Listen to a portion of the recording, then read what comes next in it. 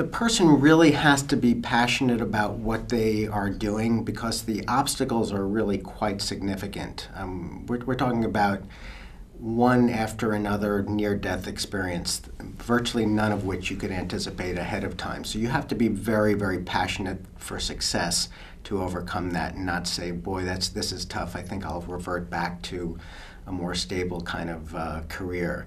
Secondly, you, you have to be very upbeat, um, but also realistic. You, have got to, I, I'd always say, to people. You have to be brutally honest about what's happening, but eternally optimistic about the future because you have to accept the challenges of whether it's making payroll, addressing an, uh, an unanticipated competitive threat, or, or an employee, key employee leaving, um, and deal with that in the moment. And but also saying I'm focused on my vision. I believe I'm open to change, but I'm, I believe where we're going is the right direction. So that kind of dual ability to be realistic but also be optimistic.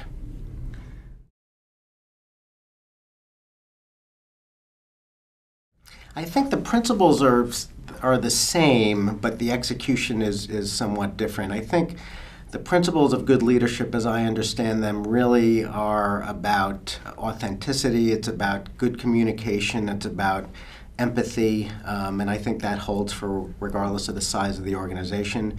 But with a smaller organization, I think it's really important to be with the troops. Um, it's really important to be grounded. It's really important to be on the front lines doing the work with your colleagues and um, really learning firsthand. Whereas in a much larger organization, it's, it's more difficult because your offices tend to be global and uh, there's just a lot of layers between you and, and sometimes the front lines. So you're going to have to do that via proxy. But for an entrepreneur there's you've got to be getting your hands dirty. You've got to be working with your partners and colleagues and you've got to be uh, with your clients and, and with your people as much as possible